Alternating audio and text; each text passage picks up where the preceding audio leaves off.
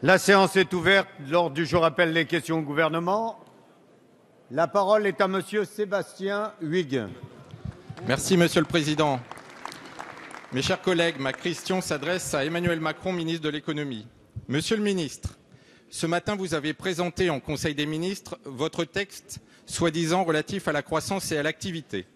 Aujourd'hui, 50 000 représentants des six professions juridiques réglementées sont dans la rue pour manifester leur réprobation vis-à-vis de votre texte.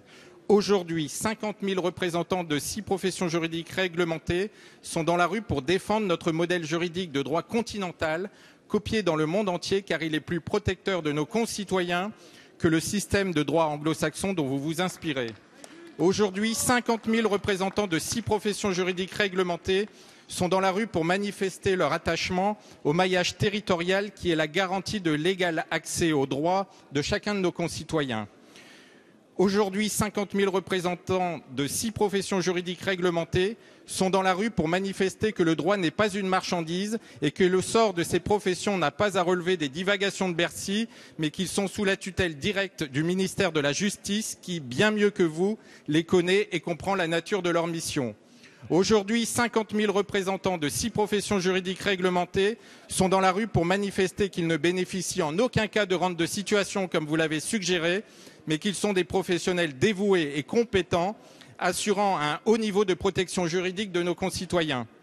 Pour tenter de justifier votre réforme, vous avez jeté à la vindicte populaire, en d'autres temps certains auraient dit aux chiens, alors que vous n'étiez pas le mieux placé pour le faire, des niveaux de revenus qui n'ont rien à voir avec ce que gagne la grande majorité de ces professionnels.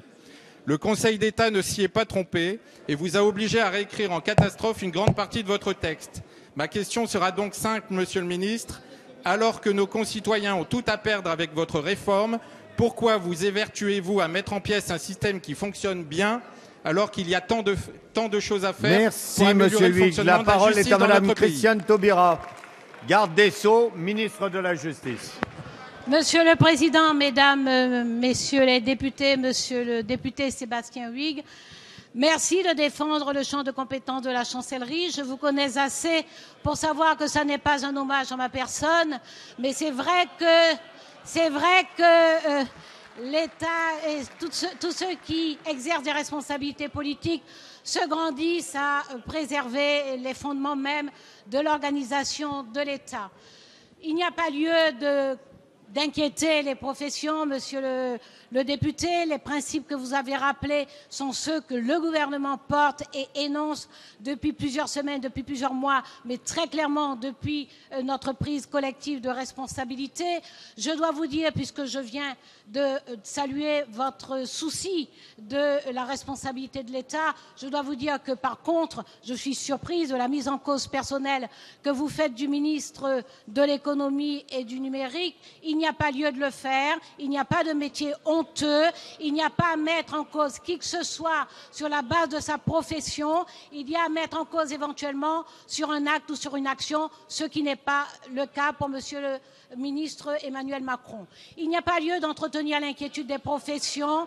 Nous avons dit très clairement, monsieur le député, que nous préservons la sécurité juridique des actes, le maillage territorial et donc l'accès au droit et à la justice sur l'ensemble du territoire, que nous veillons à ce que les tarifs soient accessibles à tous les citoyens. Nous nous situons dans cette logique de faire en sorte que tous les citoyens puissent accéder au droit sur l'ensemble du territoire. Par conséquent, il n'y a pas lieu d'inquiéter même si ces derniers temps, mais bien entendu ces derniers temps, compte tenu de l'évolution du texte, les professions pouvaient s'interroger. Il n'y a plus lieu de le faire puisque le texte a été adopté et ne doutez pas de votre capacité ici à faire Merci, la loi. Merci, Madame la garde des Sceaux. La parole est à Monsieur Germinal Perrault. Merci, Monsieur le Président, mes chers collègues. Ma question s'adresse à Monsieur le ministre de l'économie.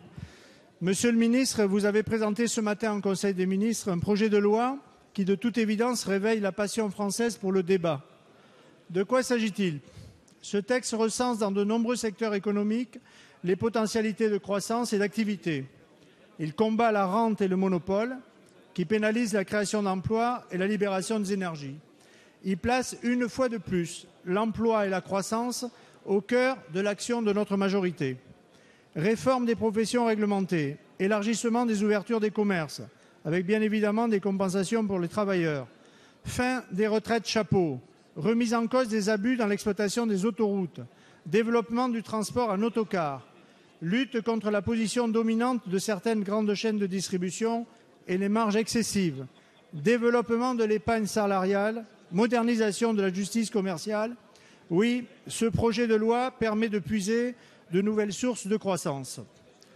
Vous affirmez, que c'est une loi de mouvement, de progrès et de liberté qui produira ses premiers effets durant l'été 2015. C'est ce qu'attendent de nous, mes chers collègues, tous les Français qui voient depuis des années croître sans cesse le chômage.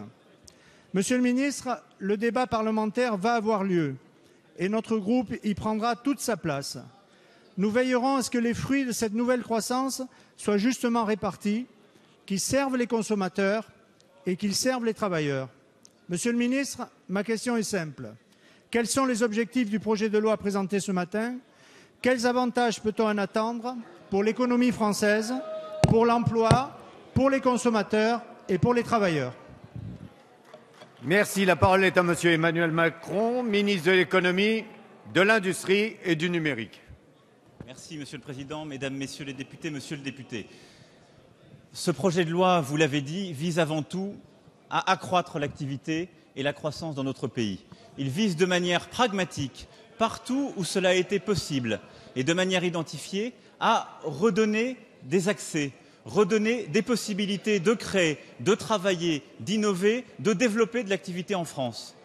Et donc, de manière extrêmement concrète, sur de petits sujets comme sur de grands sujets, à redonner des opportunités. Ce projet de loi, il est pour l'activité et il est pour l'égalité des chances économiques, pour que chaque Française et Français qui veut faire davantage, qui veut travailler, qui veut investir, puisse le faire. Il repose sur trois piliers. Le premier pilier, c'est d'ouvrir, de libérer. Et je tiens ici à le dire, je comprends les sensibilités qui peuvent exister, mais en rien ce projet ne vient enlever des droits.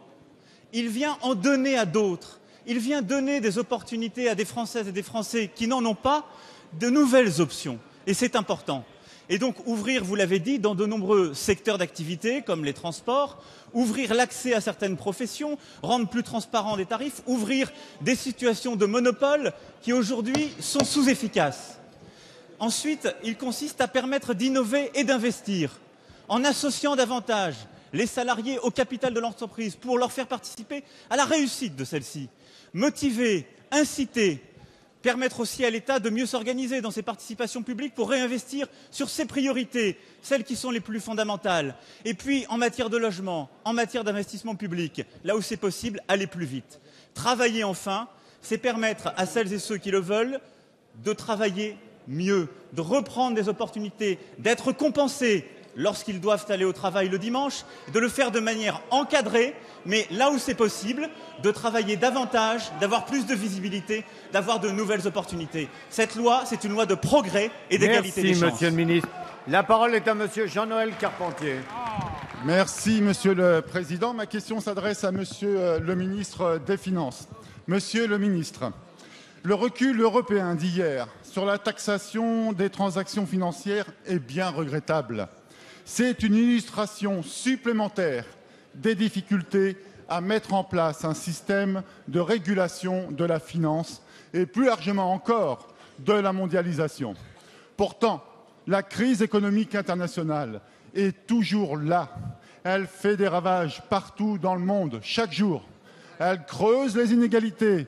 Elle peut même s'aggraver, nous disent les experts. On le voit, le laisser faire, le laisser aller ne marche pas. D'ailleurs, à travers la planète, beaucoup demandent que la globalisation de l'économie soit mieux régulée. C'est l'homme qui fait l'économie et non l'inverse. Monsieur le ministre, depuis le début de la crise, la coopération internationale afin de prévenir les risques financiers n'a pas fourni de résultats probants. Il faut donc hâter le pas. L'efficacité dans ce domaine exige des accords internationaux nouveaux afin d'encadrer la mondialisation par des règles d'éthique universelles. Pour ma part, je ne vois qu'une autorité pour y parvenir, l'Organisation des Nations Unies. dont il s'agit bien sûr d'élargir les compétences au domaine économique et financier. Alors, Monsieur le ministre, je n'ignore pas la complexité de la tâche, ni le temps qu'il faudra pour l'accomplir. Mais ne pensez-vous pas que la France, compte tenu de son rang dans le monde, pourrait prendre une initiative en ce sens auprès de l'ONU pour permettre une mondialisation économique plus soucieuse des droits humains Je vous remercie. La parole est à Monsieur Michel Sapin, ministre des Finances et des Comptes publics. Merci Monsieur le Président. Mesdames, Messieurs les députés, Monsieur le député Carpentier, merci pour cette euh, question qui souligne que si euh, les effets les plus monstrueux de la dernière crise financière de 2008-2009 se sont légèrement estompés, les causes elles-mêmes n'ont pas encore disparu. Et donc nous ne devons jamais perdre de vue qu'aujourd'hui encore, il faut mettre en œuvre une régulation de la finance mondiale et il faut mettre en œuvre, nous le faisons, je vous dirai comment, des mécanismes de lutte contre toutes ces formes qui euh, échappent à toute éthique de quelque nature que ce soit, qui aboutissent par exemple à encourager la fraude fiscale ou l'optimisation fiscale.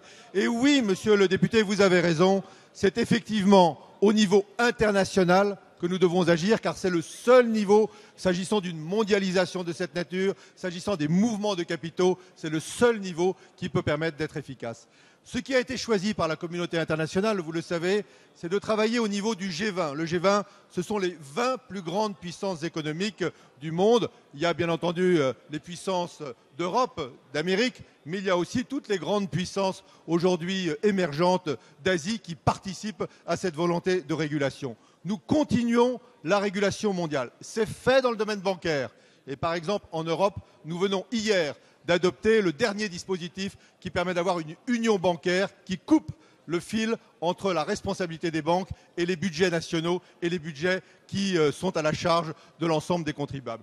Mais il faut aller plus loin, en particulier dans la lutte contre l'optimisation fiscale. Nous le faisons avec des organismes comme l'OCDE qui ont fait des propositions et qui vont nous permettre, et j'ai fait cette proposition avec mon collègue euh, italien, avec mon collègue allemand, que 2015 soit l'année de la mise en œuvre effective au niveau européen et mondial des grands principes de lutte contre l'optimisation fiscale. Merci. La parole est à Madame Huguette Bello. Merci, Monsieur le Président. Ma question s'adresse à Madame la ministre de la Santé. Elle porte sur la recrudescence d'une maladie que l'on croyait éradiquée, mais qui, depuis 20 ans, fait de plus en plus de victimes dans le monde. Non, la peste n'est pas une pathologie du passé. Elle réapparaît dans les zones de conflit et dans les pays les plus pauvres. Madagascar est devenu le pays le plus touché et les raisons de s'inquiéter sont cette année plus sérieuses que jamais. D'une part, l'épidémie s'est déclarée plus tôt dans l'année. 40 morts sont déjà et 119 cas ont été recensés. D'autre part, la capitale n'est plus épargnée.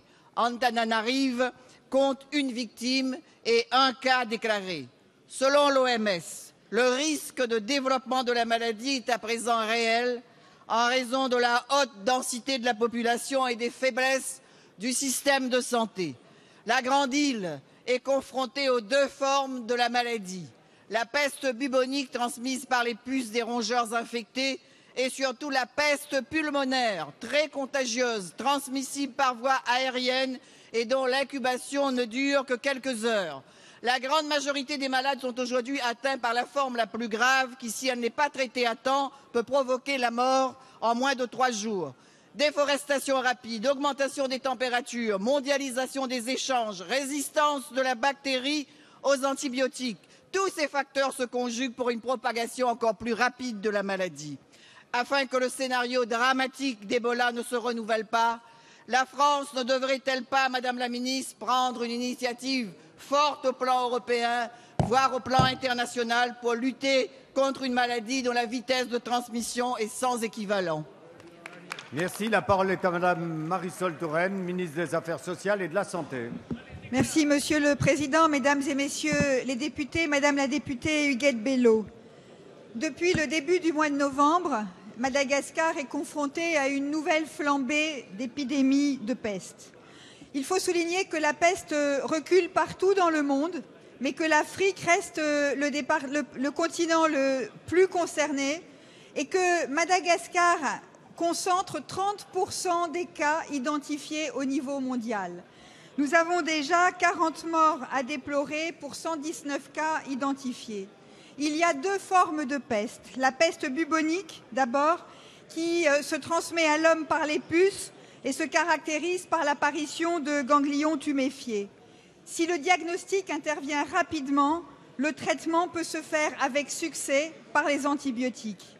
Il y a ensuite la peste pulmonaire, qui est l'une des maladies les plus dramatiques qui soient, puisqu'elle peut tuer en moins de 24 heures. Elle se déclare lorsque la maladie atteint les poumons, se transmet d'homme à homme lorsque le malade tousse. Il s'agit d'une forme très grave, mais rare, puisqu'elle ne concerne que 2% des cas enregistrés. Face à cela, des mesures fortes ont été prises. D'abord, plusieurs acteurs français et internationaux sont pleinement mobilisés la Croix-Rouge, l'Institut Pasteur et l'Organisation mondiale de la santé. Un appui technique et des ressources humaines sont apportés, des équipements de protection individuelle, des insecticides, des pulvérisateurs et des antibiotiques ont été mis à disposition. L'Organisation mondiale de la santé ne recommande pas de restrictions au voyage ou au commerce mais il est évidemment recommandé dans les zones urbaines d'éviter tout contact avec des rongeurs. Enfin, les experts ont abouti à l'idée que les touristes pouvaient continuer à se rendre sur place et qu'il n'y a pas de résistance aux antibiotiques. La parole est à Monsieur Éric Alauzet. Monsieur le Président, merci.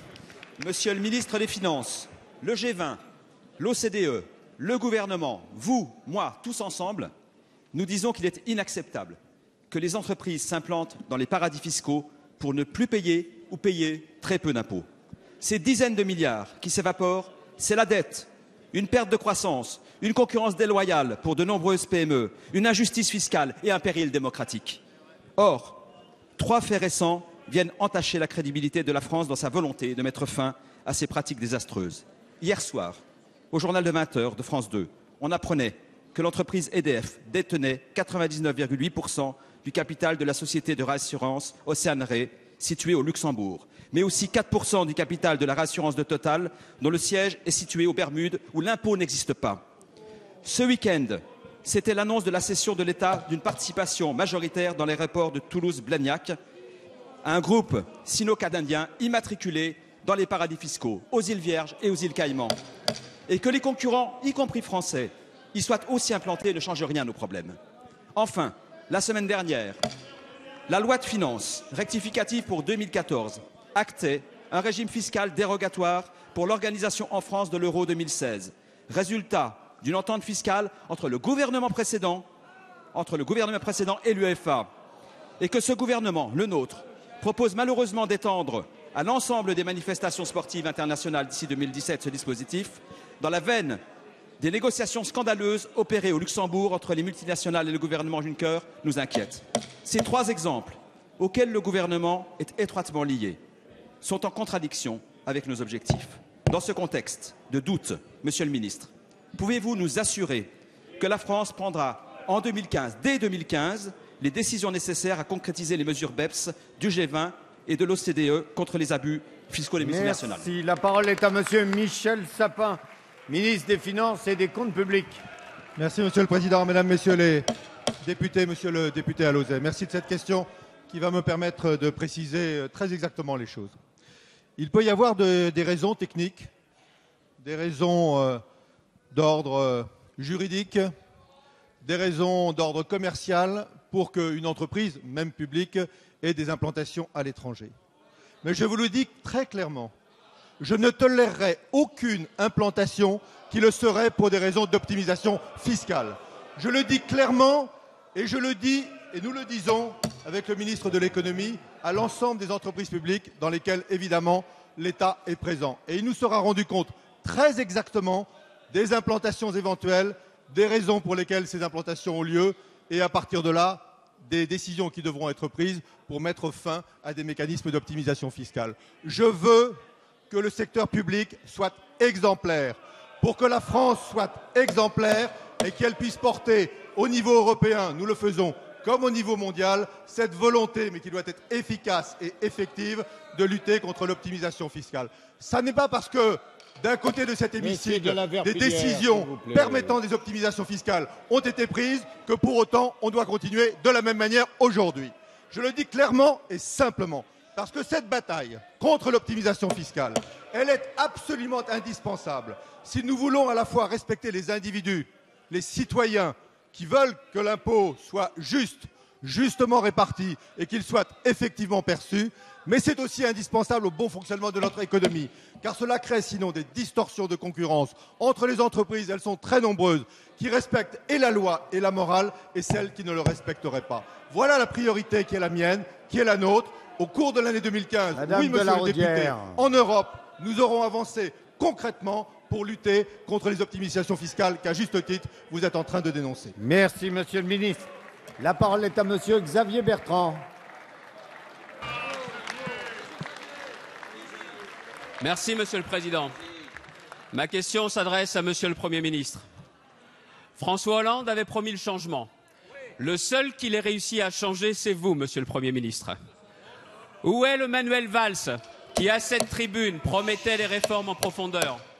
Où est le Manuel Valls qui promettait, par exemple, et rapidement, de supprimer les conseils généraux?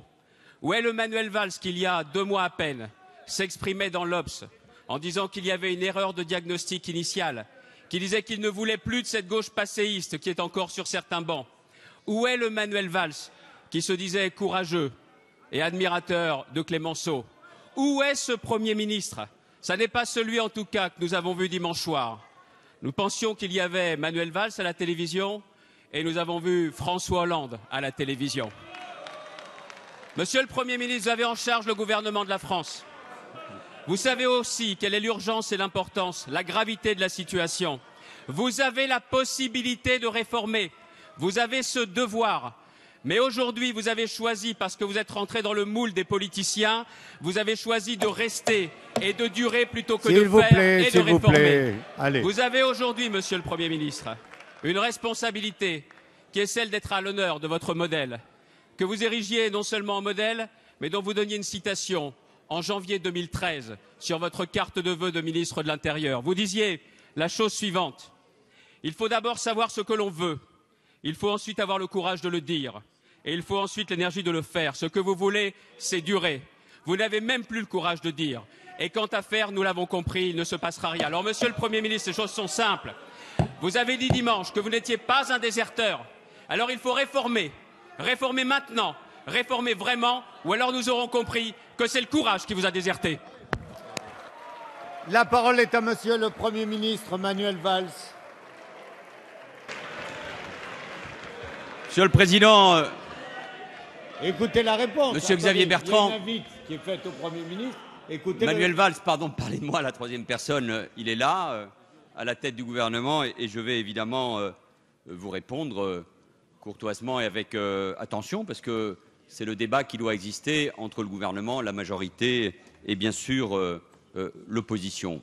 Je ne reviendrai pas sur le diagnostic, j'ai eu l'occasion de le faire, de le rappeler à l'occasion de mon discours de politique générale euh, au mois d'avril sur la nécessité euh, des réformes. Mais votre question euh, me permet de mettre un contenu précisément au mot réforme, parce que si nous pouvons nous retrouver sur l'idée qu'il faut avancer, réformer le pays, en revanche, nous divergeons évidemment sur le sens de ces réformes. Aujourd'hui même, nous présentons un texte de loi qui vise à soutenir la croissance et l'activité. Vous avez euh, interrogé Emmanuel Macron il y a un instant. Au moment où nous présentons cette volonté de réforme pour débloquer la société française, vous, vous êtes aux côtés de ceux qui manifestent contre la réforme et vous êtes du côté du conservatisme et des blocages dans le pays. Vous-même, Monsieur Xavier Bertrand, et c'est là où nous divergeons, quand vous, dans l'opposition, alors que nous sommes tous d'accord sur le fait qu'il faut réduire la dépense publique, mais que nous, nous considérons qu'il faut le faire en préservant l'État social, l'État-providence, les services publics, ce qui est au cœur du pays, ce qui est au cœur de la République, vous et vous-même, vous présentez un programme qui tournerait le dos à l'idée qu'on se fait de l'État, des services publics et de la République. Et puis on peut continuer sur la question de la réforme, Monsieur Bertrand. Et là, nous touchons à quelque chose d'essentiel. Et je le rappelais dimanche et aussi dans cet euh, hémicycle.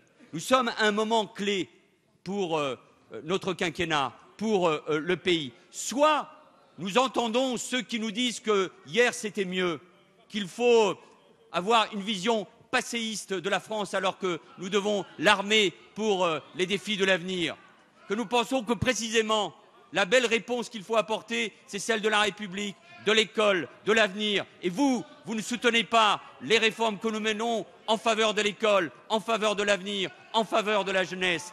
Mais il y a cette belle idée de République. Et vous-même, Monsieur Bertrand, et c'est là où nous divergeons sur l'idée même de réforme, quand vous proposez de revenir, de remettre en cause le code de la nationalité, ce qui fait le fondement même de la nationalité française, alors oui, Monsieur Bertrand, nous ne sommes pas là dans le même camp, nous n'avons pas la même vision de la France, nous n'avons pas la même vision de la République. Et c'est là, oui, où il y a une différence entre la droite et la gauche, entre le passé et l'avenir, et entre l'idée qu'on se fait l'un et l'autre de la réforme. Merci, Monsieur le Premier ministre. La parole est à Monsieur Michel Zumkeller. Merci, Monsieur le Président. Ma question s'adresse à Monsieur le Premier ministre sur à peu près le même sujet. Monsieur le Premier ministre, vous avez présenté ce matin un projet de loi sur la croissance et l'activité censé, je vous cite, libérer la France de la défiance, de la complexité et du corporatisme. Lorsque vous parlez de relance de l'activité et de la croissance, le premier impératif qui nous vient à l'esprit, c'est le retour de la confiance qui s'est délité depuis deux ans. Or, et vous avez malheureusement raison sur ce point, ce climat de défiance n'est désormais plus supportable.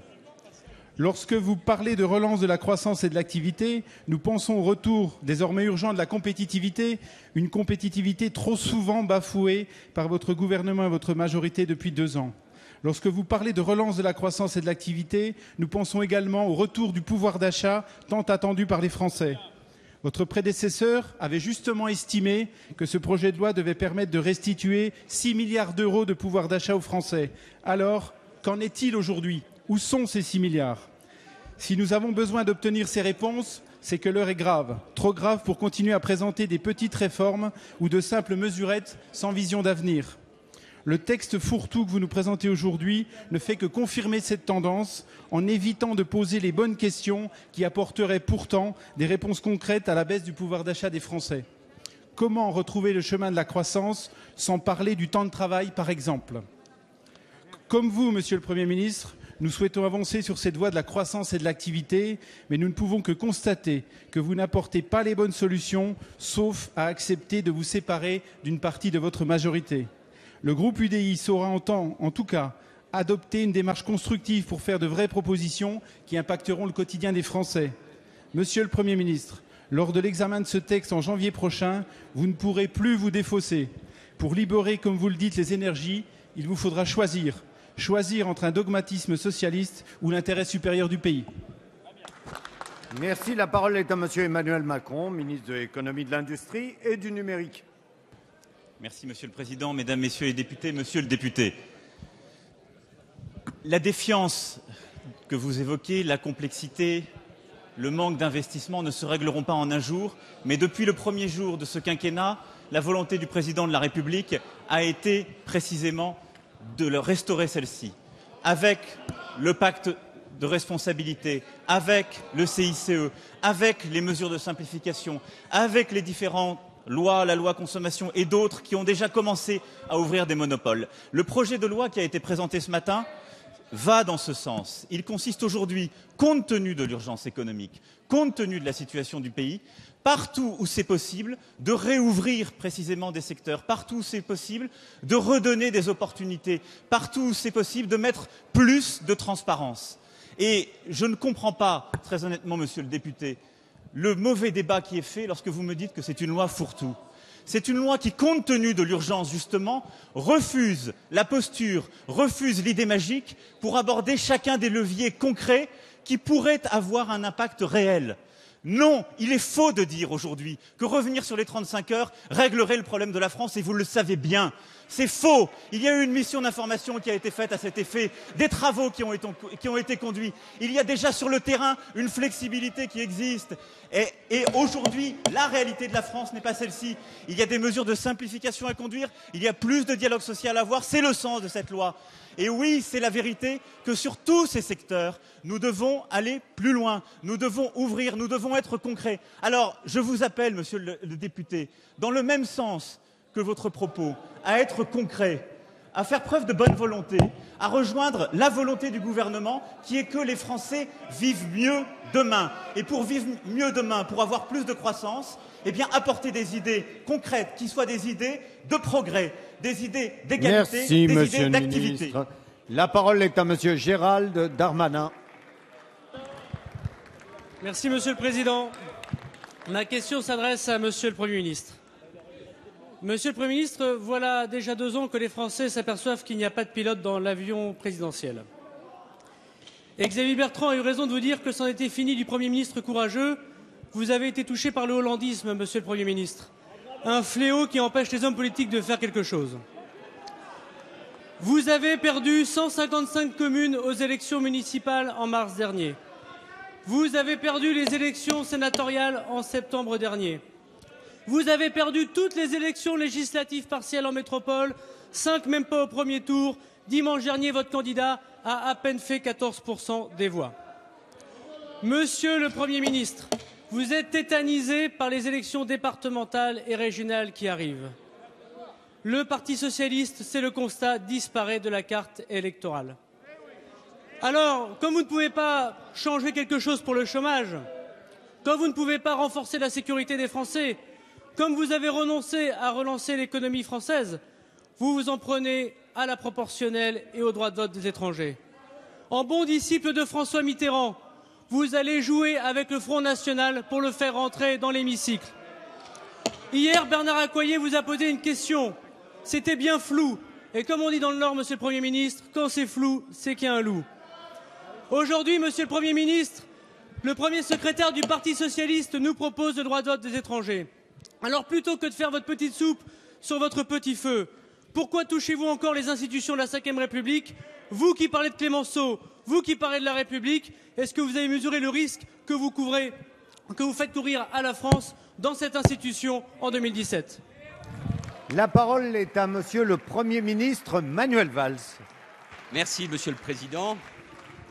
Monsieur euh, Darmanin, j'ai déjà eu l'occasion d'ailleurs euh, de le dire euh, dans cet hémicycle, parfois en faisant référence au passé, quand j'étais dans l'opposition, et je signale aussi cette critique pour ce qui me concerne. Mais il y a dans cet hémicycle ou ailleurs une manière de parler du président de la République et du chef de l'État que je trouve honnêtement pas convenante. Et je le dis, je le dis, oui, j'ai déjà eu l'occasion de le dire. Je le dis, faisons attention précisément. Parce que, Monsieur Darmanin, S'il vous plaît, on écoute. moi je ne sais pas si j'ai été touché Allez. par le hollandisme, mais moi je crois que vous, vous avez été touché par le sarkozysme, n'en déplaise à Xavier Bertrand. Mais ne soyez pas péremptoires, parce que les résultats que vous évoquez des uns et des autres, faisons attention, parce qu'y compris de la manière dont les thèmes que vous avez évoqués sont agités, faisons attention à ce qui se passe, oui, dans le pays. Nous avons déjà connu cela, mais le vrai danger, pour vous comme pour nous, comme pour l'idée que nous faisons de la République, c'est précisément le Front National. Et si vous continuez à le nourrir avec tous les thèmes qui sont les uns et les autres traités à travers des questions dans ce même hémicycle, je vous dis attention. Enfin, Monsieur Darmanin, parce que votre question, comme a dit l'un de vos collègues, était précisément euh, fourre-tout. Le président de la République, le chef de l'État, que j'ai l'honneur de servir comme Premier ministre. Et c'est là où il y a, sur ce thème, celui de la politique intérieure, de la politique économique, comme sur la politique internationale et de défense, il y a, ne vous en déplaise, un pilote dans l'avion. Moi, je suis fier d'être Premier ministre, comme l'a été Jean-Marc Ayrault, d'un président de la République qui a fait le choix d'envoyer les armées pour lutter contre le terrorisme au Mali, au Sahel. Je suis fier que ce soit ce président de la République qui fasse en sorte qu'aujourd'hui nos armées soient accueillies comme elles le sont en Afrique. Je suis fier d'un président de la République qui, après la décision de participer à une coalition en Irak pour lutter contre Daesh, je suis fier d'un président de la République, monsieur le député, qui renoue au nom même de la France et de l'Europe, un dialogue avec la Russie, parce que nous avons besoin de la paix en Europe. Je suis fier, monsieur le député, de servir un président de la République qui fait du redressement du pays dans la justice la priorité. Et je suis fier d'être un Premier ministre, d'un président de la République qui conduit la France avec la volonté d'élever le débat et non pas de le rabaisser comme vous le faites.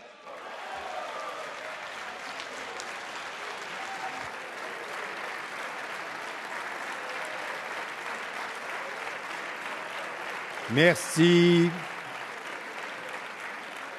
La parole est à Monsieur Jean-Paul Chanteguet. Monsieur, Monsieur le Président, mes chers euh, collègues, ma question s'adresse à, à Monsieur le Premier ministre.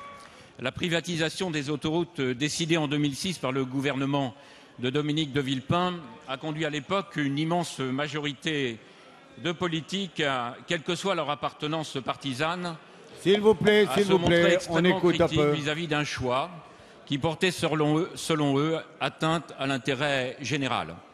En effet, l'État, en déléguant à des sociétés privées l'exploitation d'autoroutes déjà largement financées par les impôts des citoyens et par les péages des automobilistes, se privait ainsi pour de nombreuses années d'importantes ressources pérennes. Au fil des ans, cette gestion a continué à susciter des interrogations suffisamment graves pour que la Cour des comptes puis l'autorité de la concurrence soient saisies d'une demande de, de rapport par la Commission des finances de l'Assemblée nationale. Ces deux études, publiées l'une le 4 24 juillet 2013 et l'autre le 18 septembre 2014, ont fait prendre conscience à tous, sur la base d'éléments factuels, précis et incontestables, de l'évolution excessive du montant des péages et du retour financier exceptionnel pour les sociétés concessionnaires d'autoroutes. Par ailleurs, la puissance publique, confrontée à une dette de demi-milliard d'euros, se trouve aujourd'hui dans l'impossibilité de financer ces infrastructures de transport, qu'il s'agisse de les maintenir en, bon état ou d'en créer de nouvelles plus adaptées à notre obligation de lutte contre le réchauffement climatique. Pensez-vous, Monsieur le Ministre, que le moment est venu pour l'État de se donner les moyens de mettre en œuvre une autre gestion du réseau autoroutier sur de nouvelles bases, plus conformes aux priorités de la nation, c'est-à-dire au bénéfice de l'intérêt général, qui ne peut être confondu avec l'intérêt des actionnaires des actuelles sociétés concessionnaires. Pensez-vous, Monsieur le Premier ministre, que l'État puisse, dans ce domaine, recouvrer sa pleine souveraineté sur le service public autoroutier? Merci. La parole est à Monsieur le Premier ministre Manuel Valls. Monsieur le Président Chanteguet, je connais, nous connaissons euh, votre implication sur ce sujet, notamment en, tant que rapporteur de l'actuelle mission euh, d'information parlementaire présidée par euh, votre collègue de l'UDI euh, Bertrand Panchet sur la place des autoroutes dans les infrastructures de transport. Vous l'avez dit, c'est un constat partagé d'ailleurs sur de nombreux bancs. La privatisation des autoroutes en 2006 par le gouvernement Villepin était une erreur. Elle a coûté cher au pays, ou plutôt, elle a privé l'État de recettes et d'investissements qui aujourd'hui manquent. Et je pense que vous êtes nombreux à aujourd'hui précisément faire cette analyse. L'autorité de la concurrence, vous l'avez souligné, et la Cour des comptes ont appelé un rééquilibrage des relations entre les sociétés concessionnaires et l'État.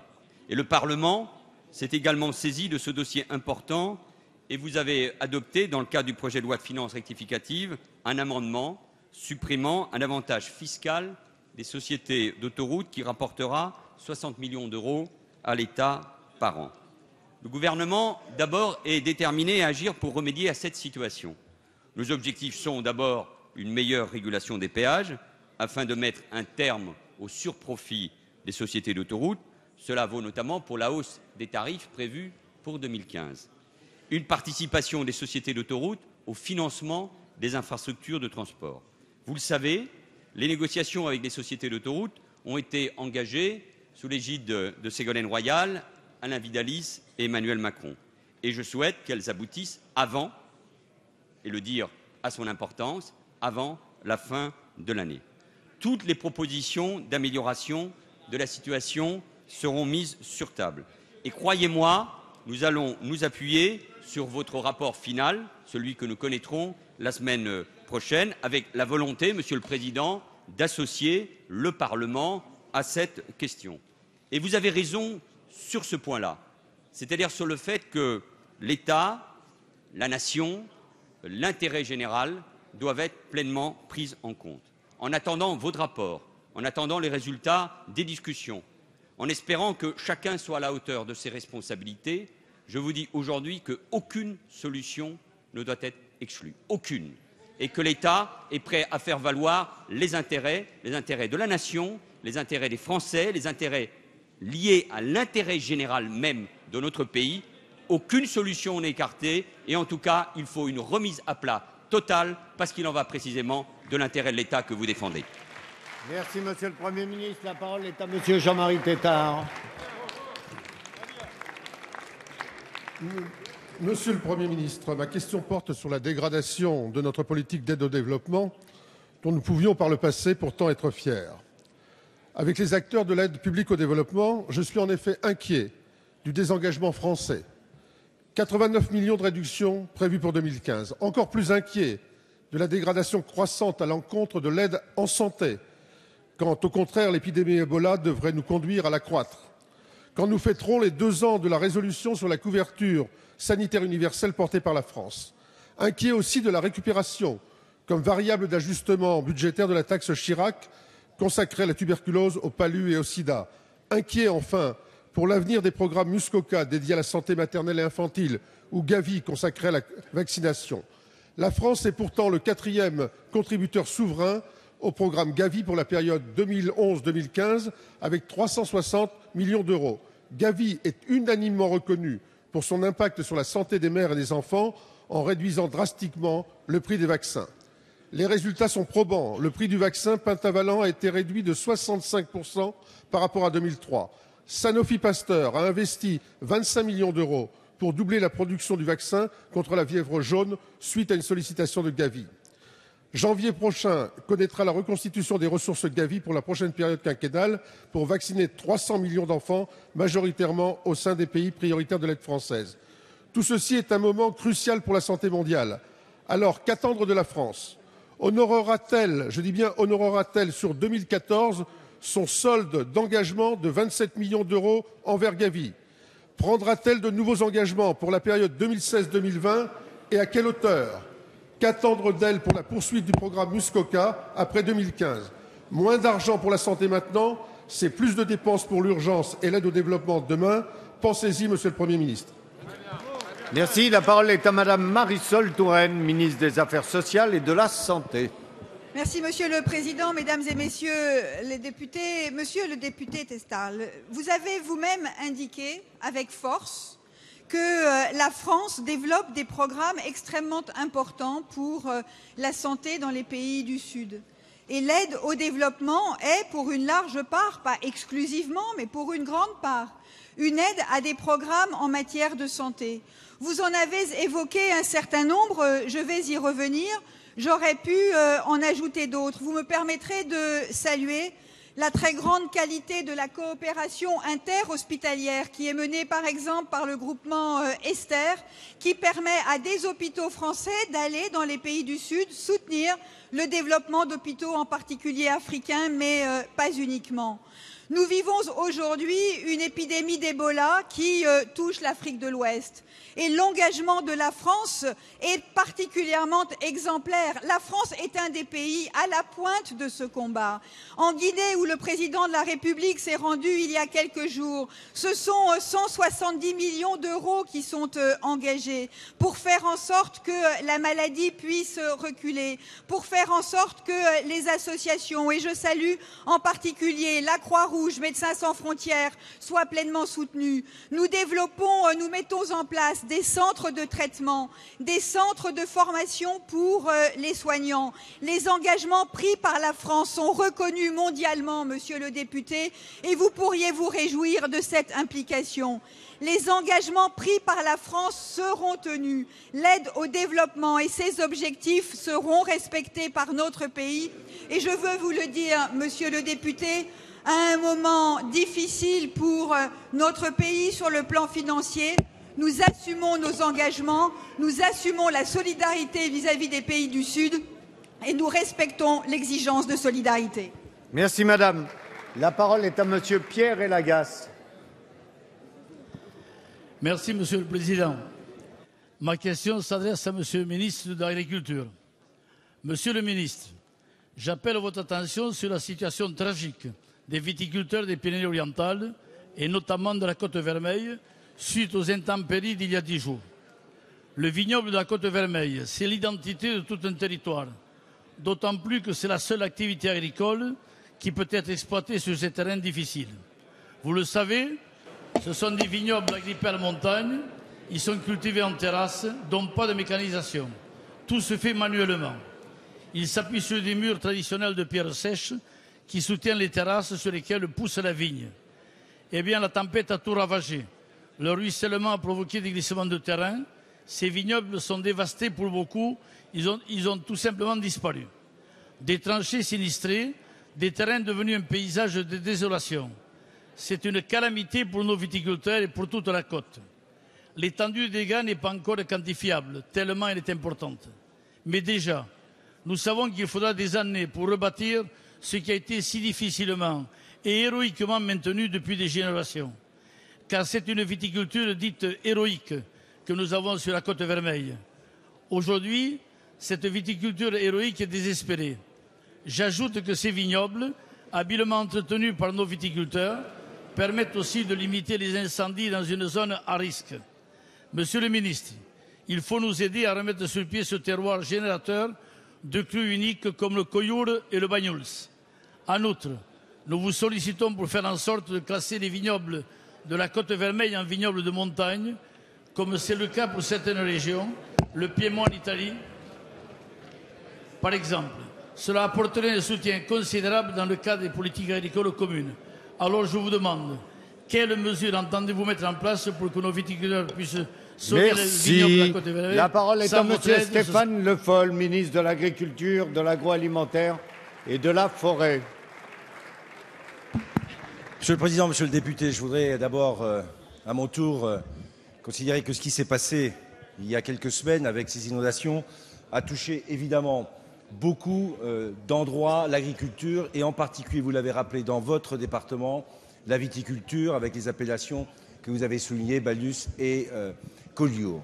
On a sur ce sujet deux types de mesures qui doivent être engagées.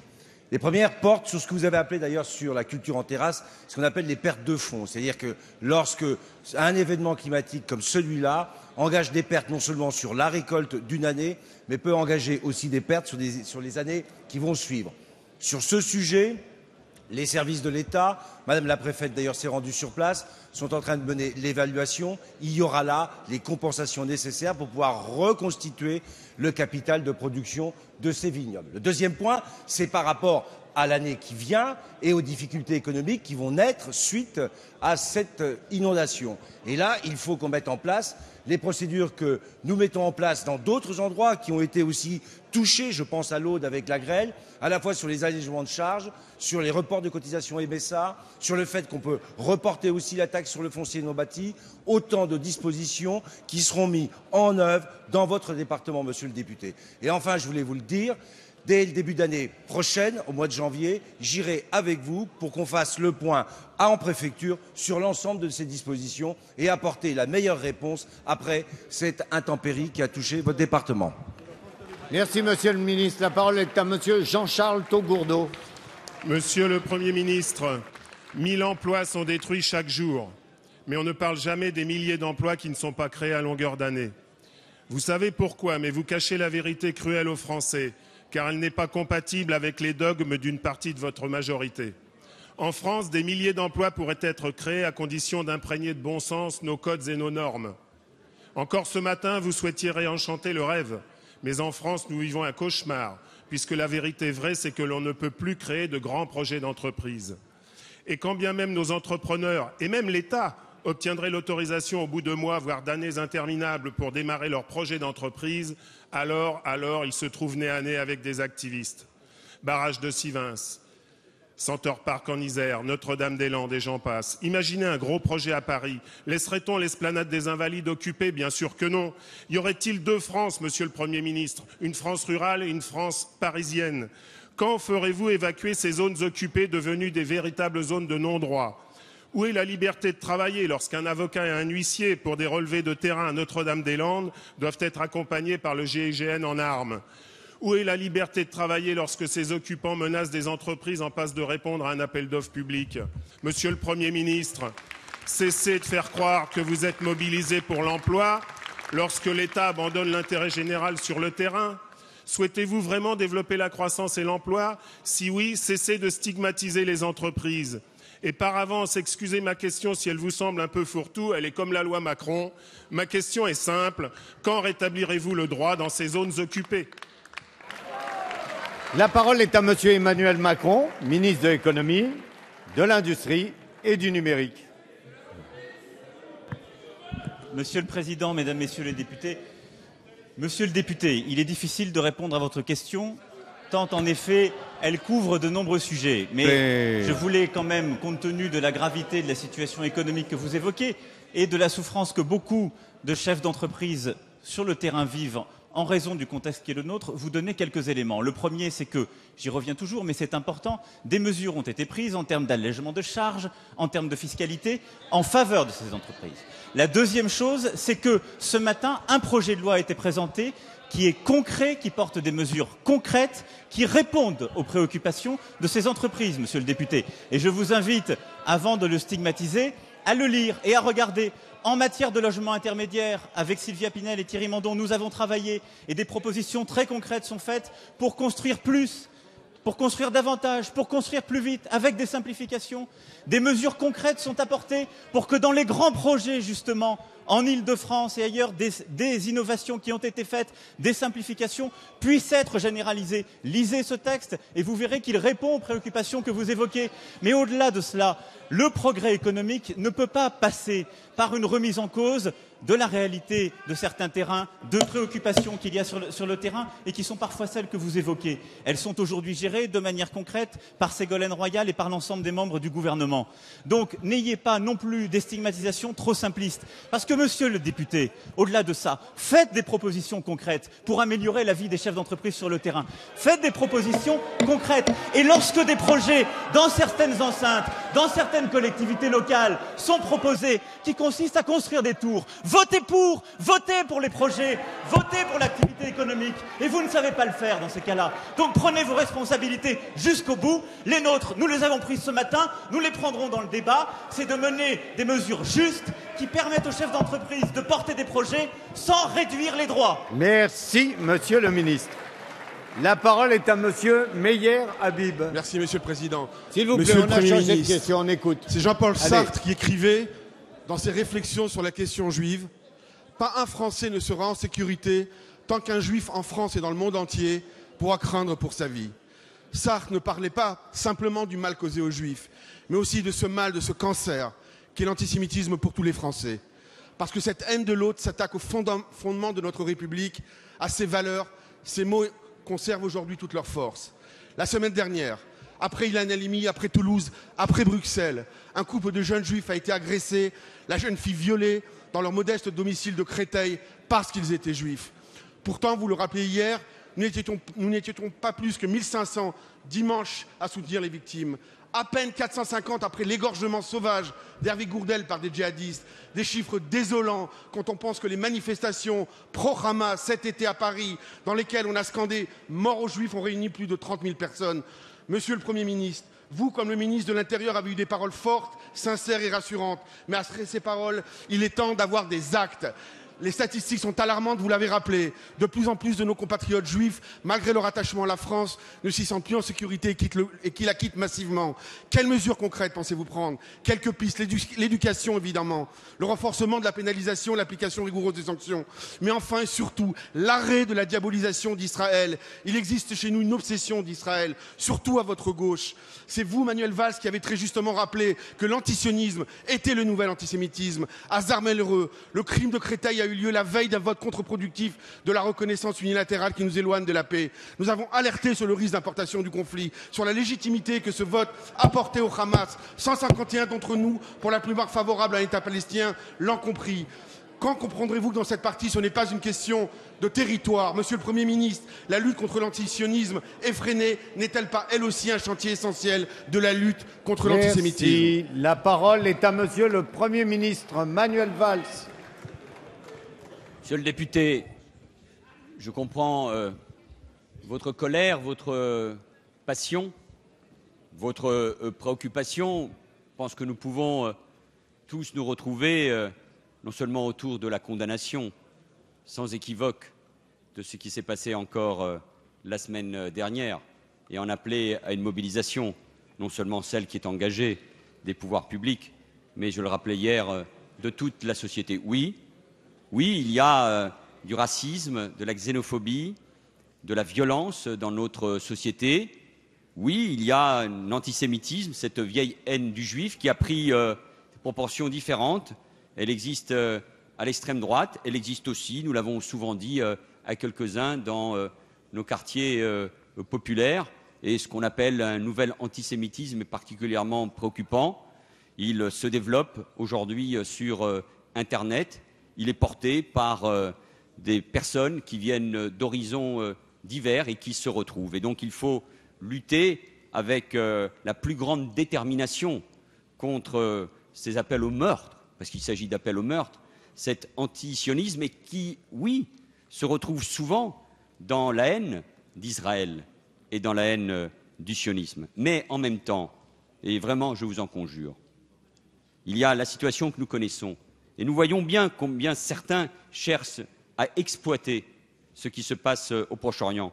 Vous le rappeliez d'ailleurs en faisant référence à ce qui s'est passé euh, cet été et à des manifestations que le gouvernement et notamment le ministre de l'Intérieur ont interdites. Mais en revanche, nous le savons tous ici, et vous le premier, nous avons besoin également, et la France doit y participer pleinement, c'est euh, son rôle, c'est également sa mission, celle de l'Europe que nous voudrions voir encore davantage euh, présente euh, sur le Proche-Orient. La paix, elle est indispensable. Tant qu'il n'y aura pas la paix entre Israéliens et Palestiniens, tant qu'il n'y aura pas l'existence de deux États côte à côte, un État palestinien et un État israélien sûr dans ses frontières, en sécurité, nous le savons, certains chercheront en permanence à nourrir la haine d'Israël et donc aussi des Juifs à travers cette situation. Donc nous pouvons nous retrouver sur l'essentiel, la condamnation, l'engagement contre euh, l'antisémitisme qui prend des proportions différentes, qui nécessite encore une fois une indignation majeure de la société. Oui, vous n'étiez pas assez nombreux, vous avez raison,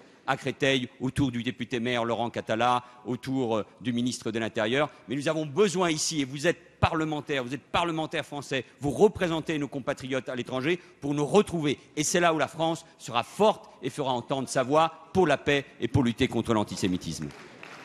Merci, Monsieur le Premier ministre. La parole est à Monsieur Philippe Gosselin. Merci, Monsieur le Président. Ma question s'adresse à Monsieur le Premier ministre. J'y associe l'entente parlementaire pour la famille. C'est vrai que l'actualité aujourd'hui, à juste titre, porte sur les projets Macron. La confiance disparue et ce n'est pas un hasard si les manifestants sont aussi nombreux dans la rue et on les soutient largement. Mais hier, l'Assemblée nationale aurait dû examiner la proposition Leonetti de lutte contre les mères porteuses. Or, il n'en a rien été. En effet, dès jeudi, il y a eu un rejet en séance par cette majorité, par votre majorité, avec un double langage.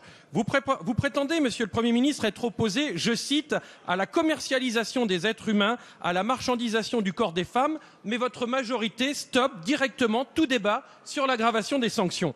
Il s'agissait pourtant de lutter contre le développement de ce trafic et de nouveaux marchés, qu'il s'agisse du reste des couples hétéros ou homosexuels.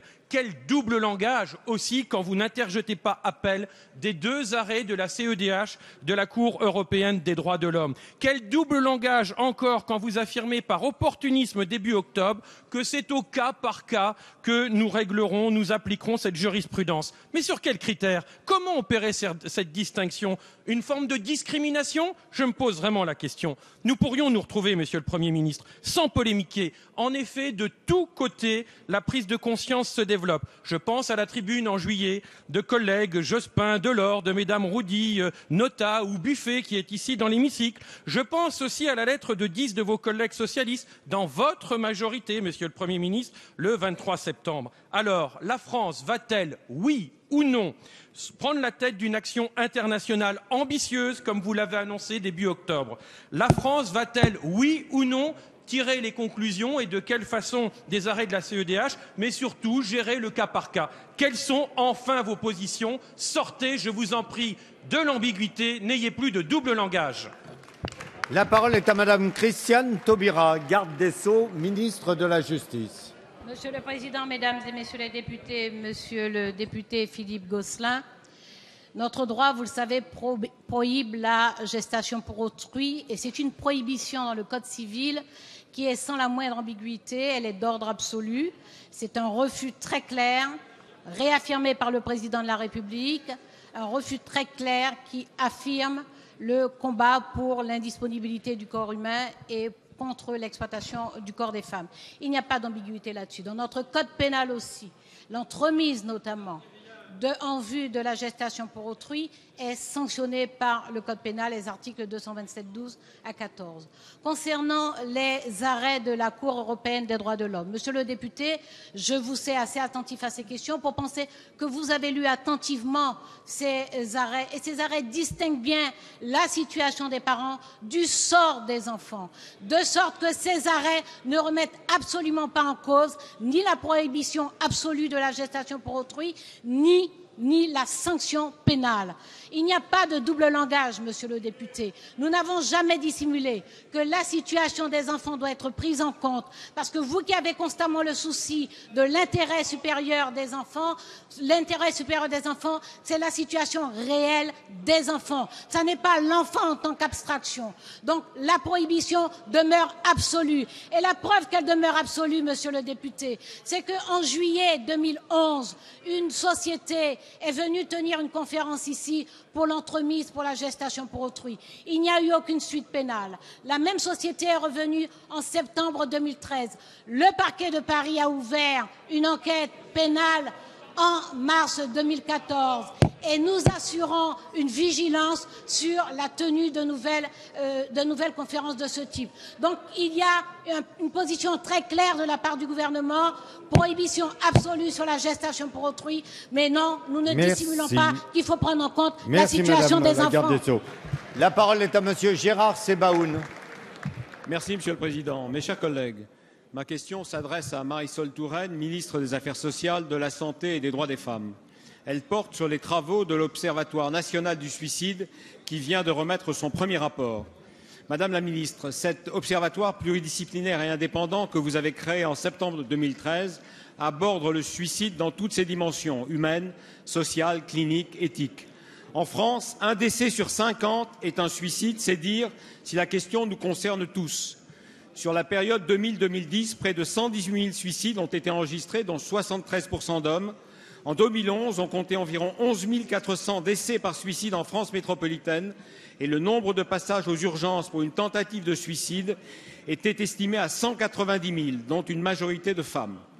Malgré une tendance à la baisse, la France affichait en 2010 un taux élevé de suicide dans l'Union européenne, les pays baltes étant les plus touchés et les taux les plus faibles s'observant dans les pays du Sud, mais aussi au Royaume-Uni et aux Pays-Bas. Si le suicide augmente avec l'âge, il constitue la seconde cause de décès après les accidents de circulation, avec 16% de décès chez les jeunes de 15 à 24 ans. Le rapport aborde également la question des inégalités face au suicide, inégalités sociales, avec un risque trois fois plus élevé chez les employés et surtout chez les ouvriers comparé aux cadres. Inégalité régionale avec un risque plus élevé dans la moitié nord du pays. Inégalité entre personnes avec des groupes particulièrement vulnérables, les personnes détenues, les personnes sans domicile ou encore celles harcelées ou discriminées en raison de leur orientation sexuelle. Enfin, les études sur la relation entre suicide et travail retrouvent un sur-risque dans certaines professions. Et sans être exhaustif, on peut citer les surveillants de prison, les acteurs de la santé et de l'action sociale ou les exploitants agricoles. Madame la ministre, nous sommes face à un enjeu de santé publique dont les facteurs de risque sont identifiés. Quelle suite allez-vous donner à ce rapport? Je vous remercie. La parole est à Madame Marisol Touraine, ministre des Affaires sociales et de la Santé. Oui, Monsieur le Président, Mesdames et Messieurs les députés, Monsieur le député Gérard Sebaoun, vous avez dressé, présenté un tableau extrêmement complet et précis de la situation de notre pays au regard du suicide, qui est euh, une cause de mortalité importante, plus importante que dans d'autres pays européens. 11 000 euh, personnes sont mortes euh, à la suite d'un suicide chaque année, au cours des années récentes, et ce sont près de 200 000 passages aux urgences hospitalières, comme vous l'avez indiqué. Et c'est pour mieux comprendre ce phénomène évidemment plus complexe qu'il n'y apparaît de prime abord que l'ensemble des acteurs concernés réclamaient depuis des années la création d'un observatoire national du suicide. J'ai donc euh, créé cet observatoire il y a un an. Il est composé euh, d'associations euh, diverses, de professionnels de santé, de personnalités qualifiées, de parlementaires, de représentants de sept ministères, parce que beaucoup de services de l'État sont concernés. Et euh, ils ont travaillé au cours de l'année écoulée de manière très intéressante. Ils m'ont remis un rapport la semaine dernière, ou il y a une quinzaine de jours, faisant euh, état d'ailleurs de leur grande satisfaction collective, entièrement partagée, d'avoir pu mener ce travail. Ils aboutissent à des résultats qui montrent les inégalités que vous avez évoquées sur le territoire entre les catégories sociales, entre les hommes et les femmes.